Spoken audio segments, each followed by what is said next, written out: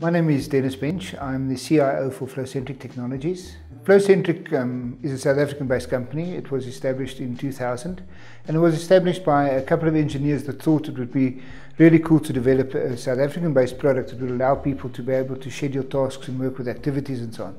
Since then, it has developed into a fully fledged product and we have offices um, in various places across the world in four different continents and we literally have tens of thousands of people that work with our software every single day. So we consider that a very successful story in terms of our company as a whole. All companies consist of processes within the organization. So we sell software that helps them to be able to map their individual processes and then also automate the process. In other words, creating a web application that will allow people to work in a paperless environment.